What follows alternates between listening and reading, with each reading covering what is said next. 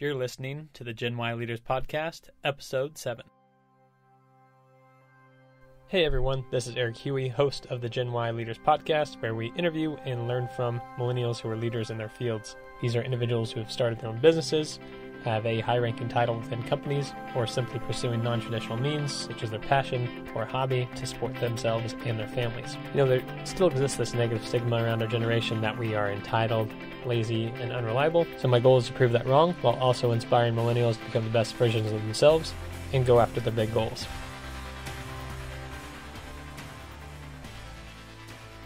Hey everyone, and welcome back to another episode of the GenWhy Leaders Podcast. Appreciate you all listening.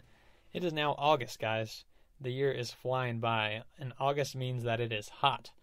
And I don't know about you, but I'm seeing a ton of kids with lemonade stands on a lot of corners. And that's always been an interesting concept to me, right? These kids are more interested in selling and lemonade and, and making money on the street corner rather than playing kickball or going to the swimming pool. And I've just come to the realization that some people from an early age have entrepreneurship truly in their blood. And that's a perfect topic for today's guest, who is Drew Taylor, founder of Digital Nomad University. Now, what Digital Nomad University does, uh, if you've ever seen influencers or freelancers or vloggers posting about their work life balance and working remotely from the beach and taking surfing lunch breaks, that's essentially what Drew and his business, Digital Nomad University, does. He essentially helps someone take something that they're passionate about or an expert in and make a business out of it so they can work remotely and do life on their own terms. In today's episode, we talk exactly about that.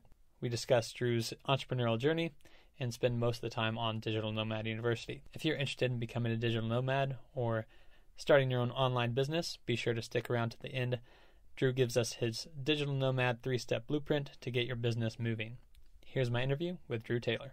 Everyone, welcome to another episode of the GenWhy Leaders Podcast. Here with a good friend and exciting guest that I think you all enjoy and learn from, Drew Taylor. Drew, welcome to the show. Hey, excited to be on, man. Yeah, thanks for being here.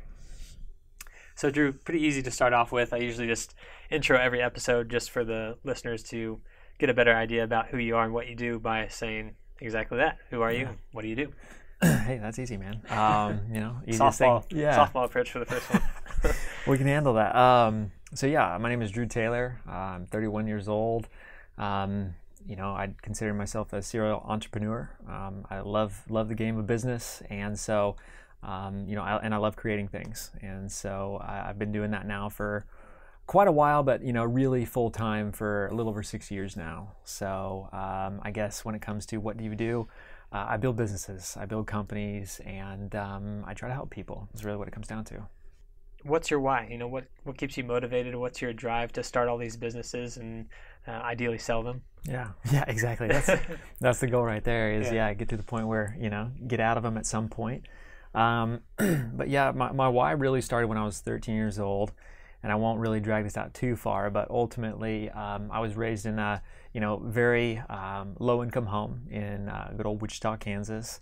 Uh, pretty rough part of town, you know. Um, we were kind of minorities in the neighborhood and whatnot, and um, uh, but it was where what my par- where my parents could buy a house, right. and so. Um, I have four sisters as well as myself, so there was wow. all seven of us living in a 950 square foot home. Oh my gosh, you were outnumbered. Yeah. Oh, absolutely, man. absolutely. Um, you know, being the only boy in the family definitely had its perks. I was the only one who got their own room, right? Nice. You know, there you go. about eight by eight, but hey, it was my own room. Still counts. Yeah. And uh, but you know, at the same time, it definitely had its downsides as well. mm-hmm. Being the only boy and, uh, you know, having to put up with all that estrogen every day. Yeah. But, and also was homeschooled. So we were home a lot. Um, but ultimately, yeah, you know, the the one thing, um, you know, we, we did have a great family, um, you know, group in the church, and so a lot of love in the house. Yeah. But the one thing I always saw my parents fight over and struggle with was money. And uh, sorry to that. Yeah, so it was something you know we knew every year for Christmas. It was like, hey, you got to ask for that one thing. You know, don't don't you know can't be too expensive.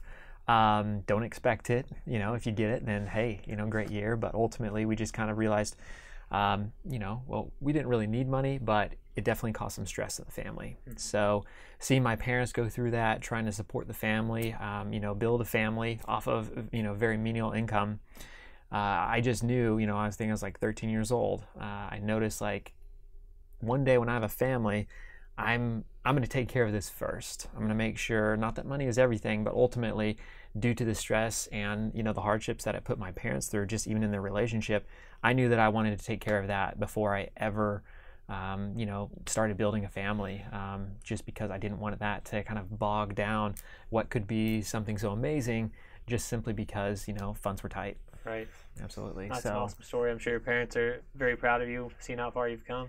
Absolutely, man. You know, I, I that my parents have changed and grown so much over the years. You know, I hope that I played a little bit of a role in, in helping them kind of get to that point. But my parents are out there crushing it now, and Yeah. you know, obviously still kind of digging themselves out of you know uh, some old debt and whatnot. You know, but I mean, I think that's the majority of people these days. Yeah.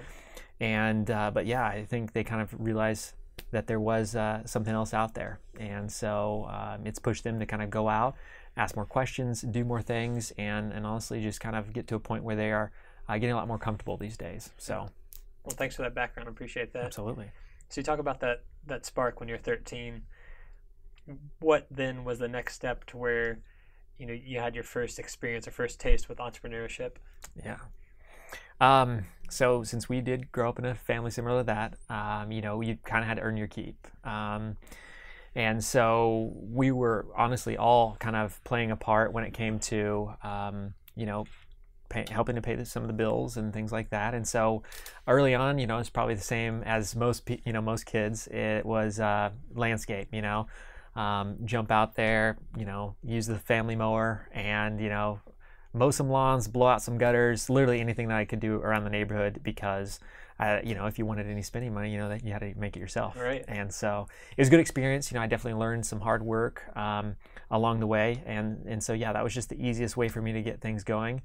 And then over the years, you know, it just kind of mutated into really anything I could get my hands on, um, anything that I could buy and sell and flip for a profit, um, or you know, to ultimately, you know, buy myself that new Game Boy, whatever it was at that time. So, Whatever the motiv- underlying motivating factors were. yep, exactly. That's awesome. From what I understand, you're leading four businesses currently. hmm And so, what I'd like to do is just to give the listeners an idea of how entrepreneurial you are.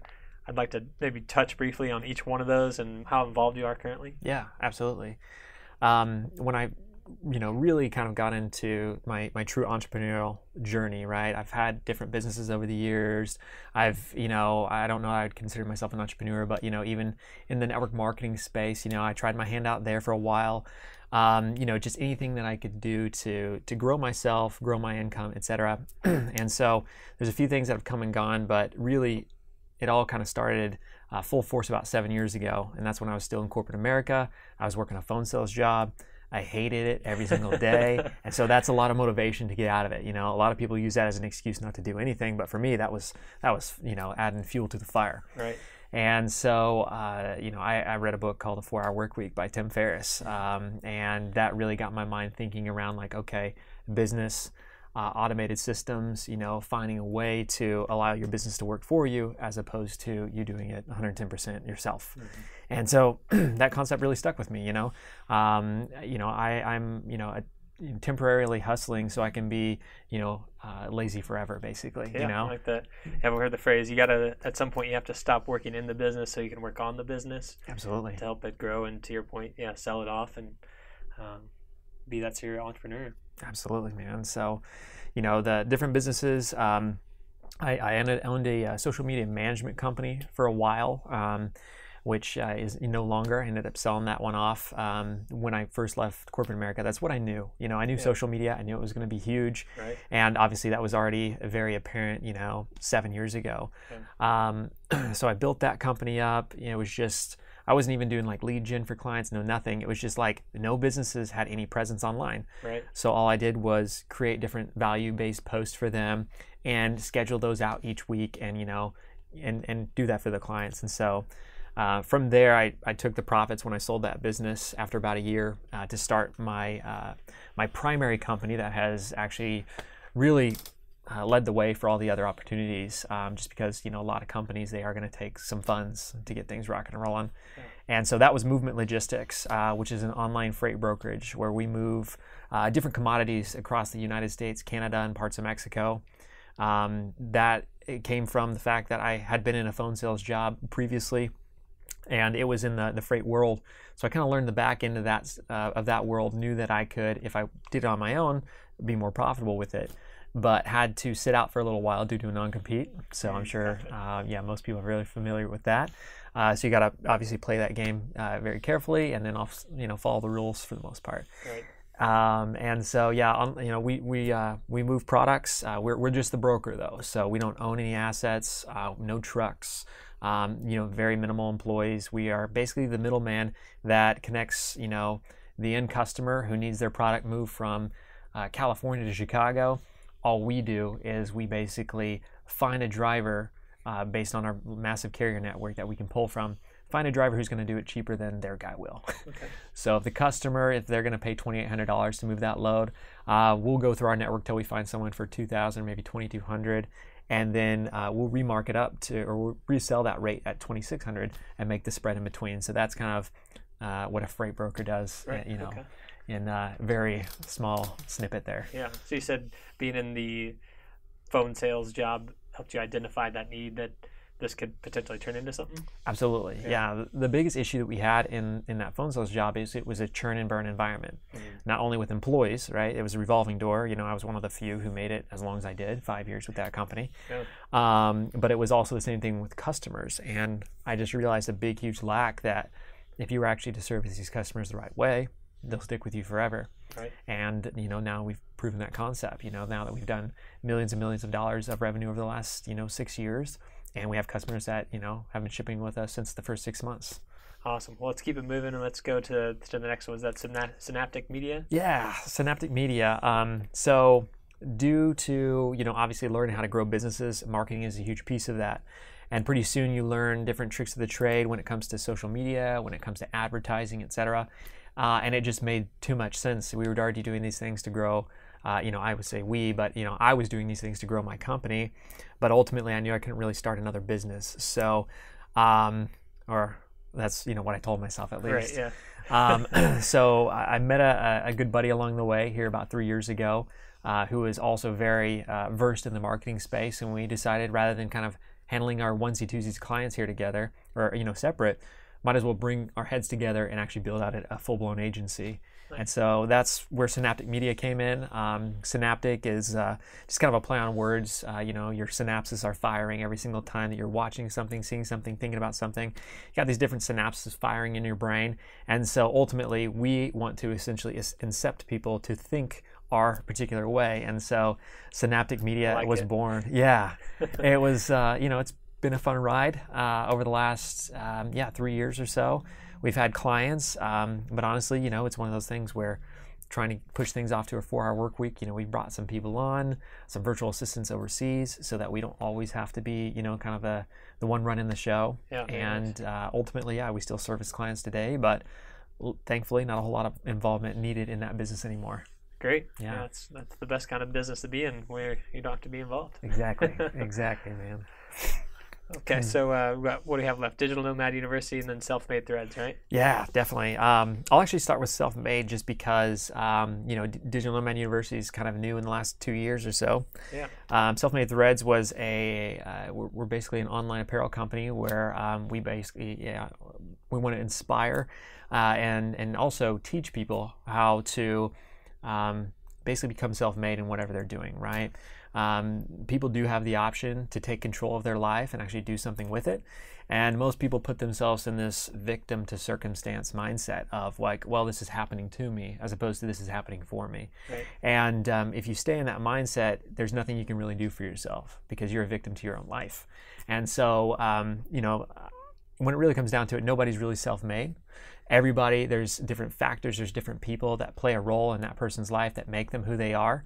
Um, not to mention, you're you're made by a creator. So ultimately, uh, no one is truly self-made, but the brand itself just really stood for the fact that you do have options, you do have choices as long as you take control of your life and make it what you want. Um, and obviously, sometimes it takes a little bit of pain, sometimes it takes a, a lot of hardship.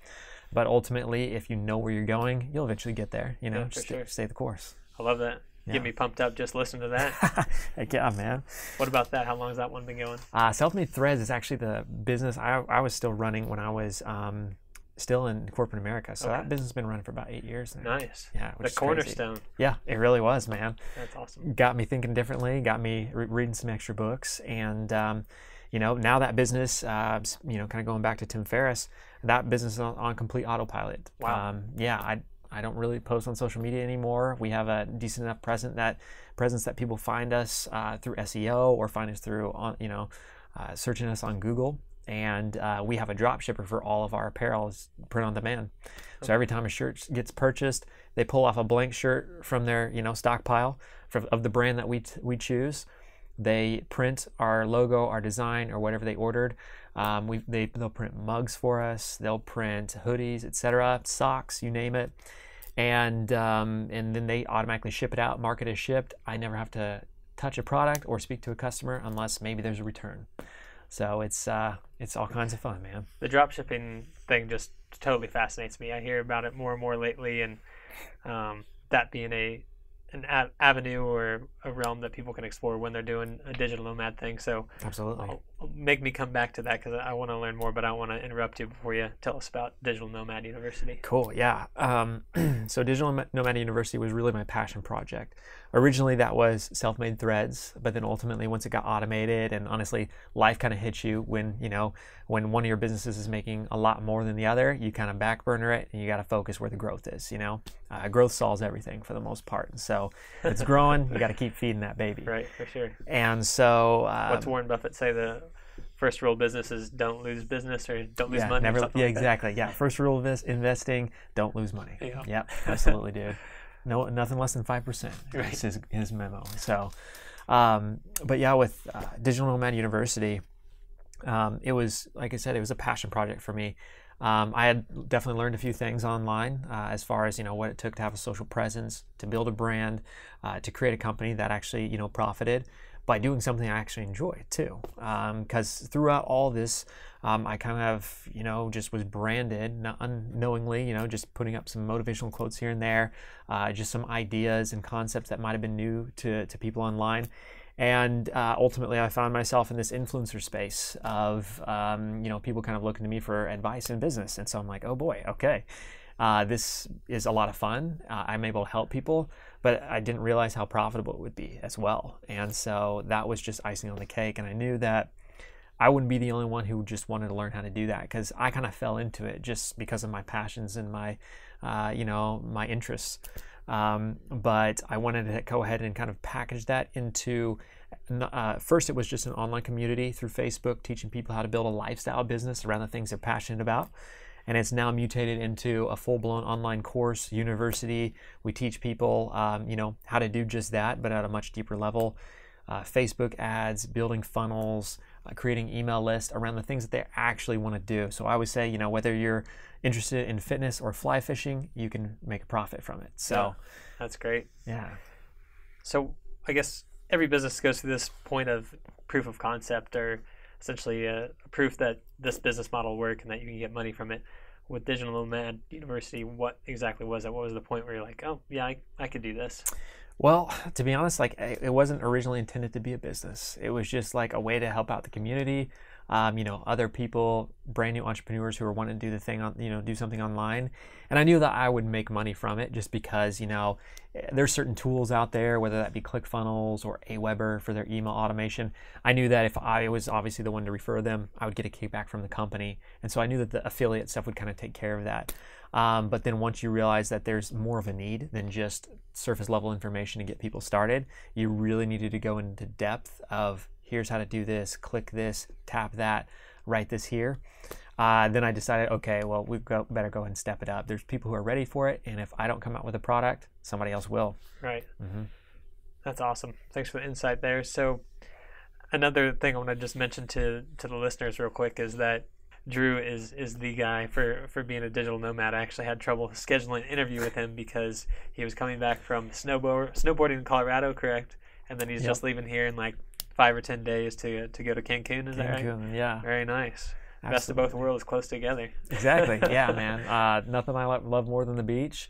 And you know, my favorite sport would either have to be paragliding or snowboarding. So, man, if you can do two in the same month, we'll take it. yeah, that's a that's a good month. So I guess in on that topic of being a digital nomad, I, you know, I think people have this idea in their mind of what that looks like, especially seeing influencers and different things online. Mm-hmm. When you're on these trips, how much are you actually working? What's your you know work life balance, so to speak, when you're when you're traveling? Yeah. Um, well, the cool part about is you know traveling, um, you know, being a digital nomad, right? There's multiple different ways of being a digital nomad. You know, you can obviously uh, you can be a freelancer where you know, hey, you do Facebook ads um, for a company or you're a, a, copywriter, right? So you're basically paid by the project. So you can kind of squeeze that in wherever you want to. Um, now, these days, there's a lot more people being quote unquote influencers and being mm-hmm. digital nomads, right? They typically either have some sort of affiliate product that they're referring or recommending, whether that's a fitness plan or supplements or whatever it is. Um, and then there's other people who they create their own products, digital courses, such as what, what I've done. Um, and so when it comes to me, when I travel, it truly is pretty leisurely uh, most of the time. Um, I was in, in uh, Thailand for the month of December. Wow. And that entire month, I think I spent four hours for the entire month doing anything related to the freight business. Um, That's amazing. absolutely, you know. I think people's jaw. I can. I heard someone's jaw drop and hit the hit the table right now. it's one of the listeners out there. Yeah, man. That's where it comes down to business systems, you know, and um, not you know from the get go. You can't typically set it up like that, mm-hmm. but ultimately, as long as you're building the company based with that end in mind, then you'll eventually get there. Yeah. It might take you six months. It might take you six years. For me, it, took the better part of six years, and yeah. so um, you know, it pays off though, right? Exactly, worth every minute. Yeah. Absolutely. That's fantastic. So diving a little bit deeper into kind of the areas of where you can have your digital nomad expertise. Mm-hmm. What are some of those areas? I mean, you mentioned one as far as being influencer, like affiliate marketing. I know the vlogging is getting really big uh, via YouTube, but yeah, I mean, you yourself doing coaching, drop shipping's one. I mean, am I overlooking any? Is there any oh my gosh hot ones right now? That yeah, these days there's there's a ton. I mean, yeah, sure. um, online trading, whether that's cryptocurrency, stocks, forex. I know a lot of guys doing that. Um, um, consulting, just straight up consulting, like how to help somebody scale their business if you're really good at that kind of a thing.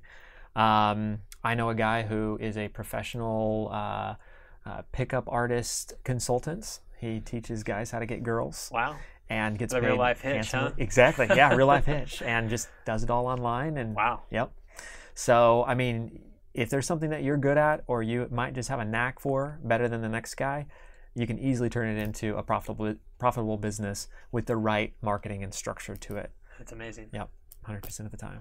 Very cool. So where do you draw the line as far as within all those facets of where people can create businesses, where would you say your maybe top three to five areas of focus are where you really consider yourself the, the expert? Um, I would definitely say consulting um, when it comes to building a business, um, even you know investing as well. Um, I think I have you know pretty decent knack for that. Um, you know some of that is favor and you know right place, right time. But ultimately, you know they say that your network is your net worth, and so the larger the network, the more opportunities you're going to see. Now, I do have a, when I was in Chiang Mai, when I was in Thailand, uh, you know, I met up with uh, probably about 18 different digital nomads. Wow. Live there full time. And these guys are making $25,000 a month plus uh, doing drop shipping from China.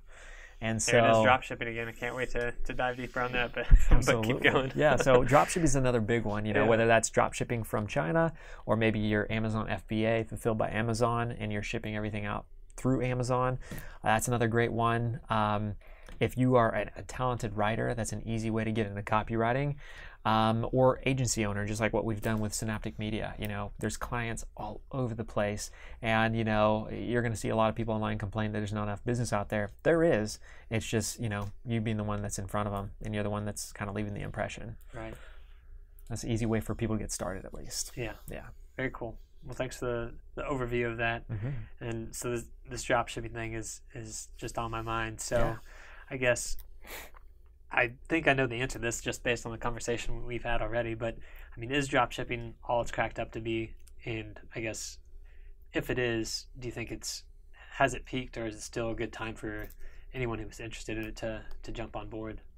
Yeah, uh, drop shipping has definitely peaked. Yeah we live in a Amazon Prime world, mm-hmm. and people don't want to wait two weeks, three weeks to get their products from China. no matter how cheap they are. Right. Uh, people are becoming way more savvy to buying things from these Chinese retailers online. And I'm not going to say the name of the major one because I'm going to help those other dropshippers out there Yeah. and not give away their secrets. I'm sure they Uh, appreciate that. yeah. Kudos to you, sir. And Get so, some clients coming back your way now. Exactly. Yeah. when it comes to marketing, holler at me. Um, um, so I, it definitely has hit its peak. I still know guys, you know, making twenty thousand plus a month doing it. So, That's incredible. um, you know, there's still opportunity. That's the thing, though, is no matter what industry, there's always opportunity. Doesn't matter if you're in the biggest recession of the century. There's always opportunity. Um, you know, fortune favors the bold, and so if you're that one uh, going out there against all odds, putting the numbers up, um, you know, go, you know attending the webinars, getting the most recent updated training, staying plugged into how Facebook ads is working in order to optimize your store to to sell those products and make a great profit because you know the minimum markup for a drop shipper is 400%. Um, and anything less than that is really hard to be profitable. Now anything 400% or above, you're extremely profitable as long as you've got your your marketing set up right. Yeah. So um, it's definitely not dead. It is dying, um, but it is also kind of being stabilized simply because a lot of these, you know, Chinese companies who are making the products, they're creating U.S.-based warehouses, very much like Amazon. So rather than drop shipping it from China and taking it two, three weeks, you're now getting it anywhere between two and five days, which is helping these drop shippers compete with Right. everybody else. But it does tap into their profits. Okay. Mhm. Very nice. Well, thanks for the insight on that. That's, Absolutely. that's something that's always interested me, and I always get targeted with ads on you know YouTube and Facebook about Absolutely. drop shipping and drop shipping courses and, and all that. So Mm-hmm. appreciate the the insight from someone who's who's been there and knows about it. Definitely. What advice would you have for someone who wants to be a digital nomad or maybe not even be a digital nomad, but just you know start an online business and, and be an entrepreneur? What what advice would you give them? Um, first things first, don't rush into anything, um, but also don't hesitate. And let me kind of explain that. Um, don't rush into anything because what happened to me early on is I went where the money was and I kept chasing different ventures, different opportunities, one thing after another, just trying to find something to hit for me. It wasn't something I was passionate about. It wasn't because I was doing it for the greater good. It was strictly for the dollar bill. And, you know, I never crossed any lines, never did anything illegal um, that I'll talk about on air. Uh, but, uh, you know what I mean? It's just one of those things. Like, you can always chase the dollar, and it's always going to be ahead of you. Mhm. But when you slow down to speed up, right, you figure out what you're truly passionate about first. Then you can actually build a business based around that passion. And that's really what I hope most people take from Digital Nomad University and our, our online community is that, you know, this is not a rush, right? You're seeing all these other people, even these 16 year olds making six figures a year plus, just crushing it online. Yeah. And, you know, oftentimes you fall into this comparison game. You see someone out there doing better than you. They've maybe even been doing it less time than you, but ultimately they have they've found their niche, they found what works for them, and they found something they're passionate about. And that's typically what the underlying, you know, factor is, is passion. So why not start with your passion in mind, build a business around that passion, you know, whether that's fitness, whether it's fly fishing, whether it's nutrition, whether it's dancing, uh, it doesn't really matter. You can build a business around it. So start there, build from that. And if you're not sure how to make that profitable, um, either one, come join our community where we're going to be teaching you that thing, that sort of thing, or jump on YouTube. Yeah. I mean, there's all the, you know, how do I turn my passion into a paycheck? Search that on YouTube, and you're going to find more than vi- more videos than you can handle that are Yeah. going to teach you that exact th- same thing, or at least get you started down that path. Yeah, very cool. Mm-hmm. Yeah, no, on that note, as far as some of the programming you offer, I've seen uh, you talk about the, the three step blueprint. Is that something you're you're willing to disclose or talk about, or kind of give a high level ov- overview of you know what that is? Yeah, absolutely. Um, so yeah, the cool part about this is it's it's very simple. And so all I'm doing is I'm taking the same three-step blueprint that people are paying for every single month. I'm going to give it to you right now, um, and I, I'm just going to simplify it. Right? There obviously there's some depth to it, but um, really what it comes down to is one, fi- figure out what you're passionate about, and ultimately find your niche in that passion project. Right? If that's fitness, maybe you are the high you know uh, high intensity trainer fitness guy. Right? So what you once you've found your niche, uh, then what you're going to do is you're going to start giving away free value, right? To essentially build an audience around the free value that you provide. People will call that freemium, freemium content. And once you have a large enough audience of people who are bought into you, bought into the free value that you're providing, at that point in time, you can either offer them up a a product that you personally use, right? If you're in fitness, maybe that's a supplement and you partner up with a company, you become an affiliate for them. You make 25% of every sale that you push through their their way. That would be affiliate sales. Now, maybe on the other side, you uh, you love creating your own products. You want to create a workout plan that you update every single month, and you create a membership program. I love membership programs. That's that's how ours works. Uh, that way, people are plugged in. They stay plugged in because it's coming out of their account every month and you can keep them up to date with the latest and greatest in fitness, supplements, etc. And um, so, yeah, step one, just kind of reiterate, is find your niche. Step two is build an audience around that niche by providing free value. Too many people try to rush into the money. That's why I say slow down to speed up.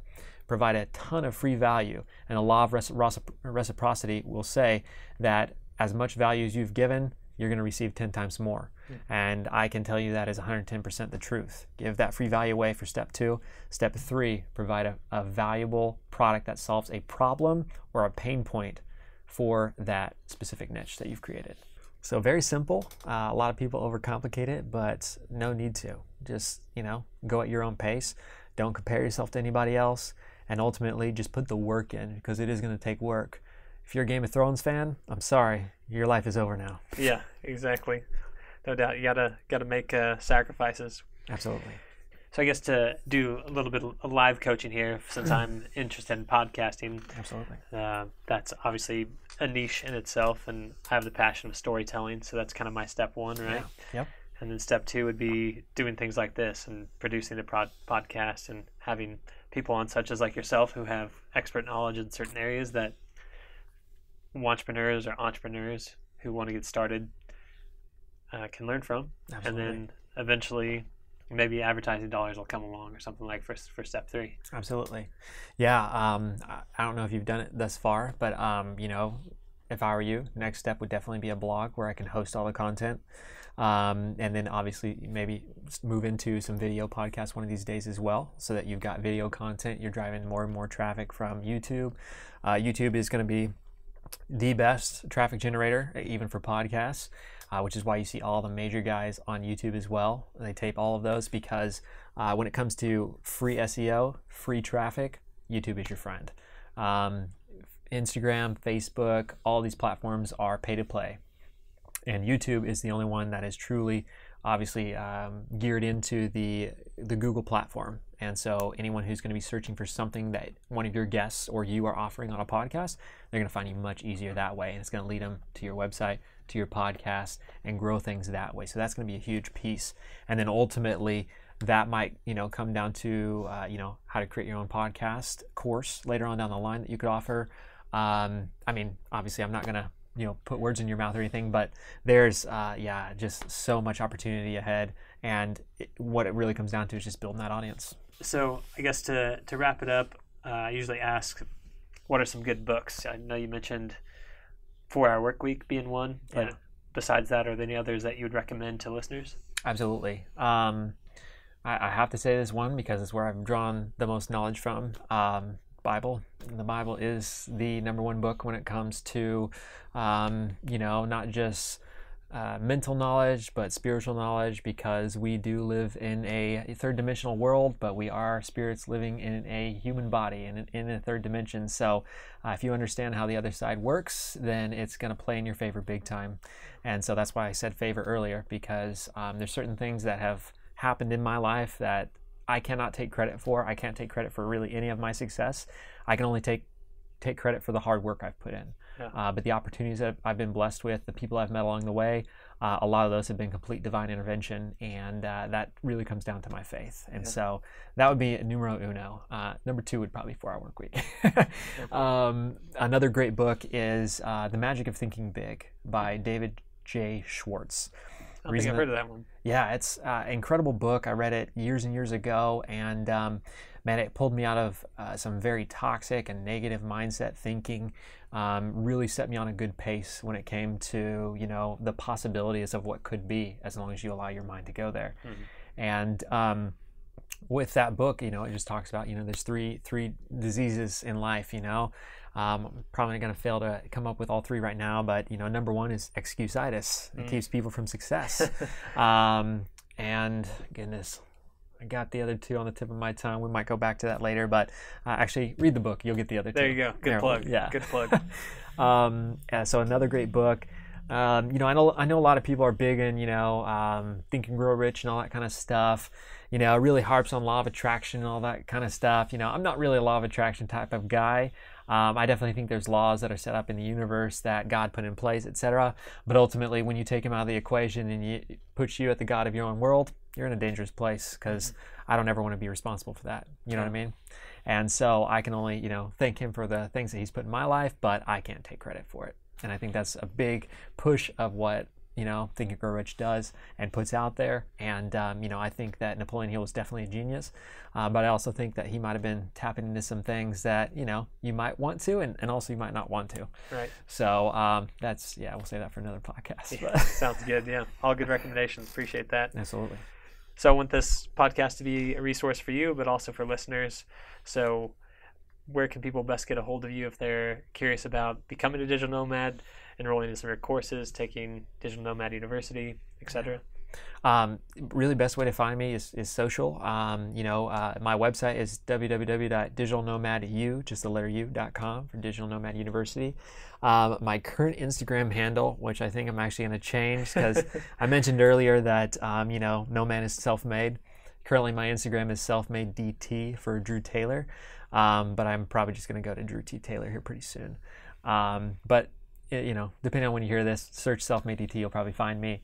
Um, and then also, if you search on Facebook for Digital Nomad University, you're going to find obviously my Facebook page, but then also the Facebook group. And this is uh, you're not going to find the private group for the paid members, but you will find the free group for for the newbies who are really just trying to you know wrap their mind around how this whole thing works. And um, you know, I'm throwing throwing free value out in there all the time, teaching people exactly what they need to do. It's a great place to ask questions, get those answered, and it's just really you know a good community, a family of people helping people. Um, there's not really any, any sharks in there trying to sell anybody anything, which is awesome. It's just straight value. And so if you're really looking to kind of head down that path, it's a great place to start. Awesome. Drew, thanks so much for your time and really appreciate being here. Hey, thanks for having me on, man. Really appreciate it. That wraps up today's episode. I want to thank you all again for listening. My name is Eric Huey, and my goal is to provide you with inspiring content that helps you do your job better or go after your big goals. I'd appreciate your feedback with a rating or review on whichever platform you found the show. And if you'd like to share your feedback directly, or if you know someone who would be a great guest on the show, feel free to email me directly at genwhyleaders at gmail.com. That's G E N W H Y L E A D E R S at gmail.com. Thanks again. I'll see you next time.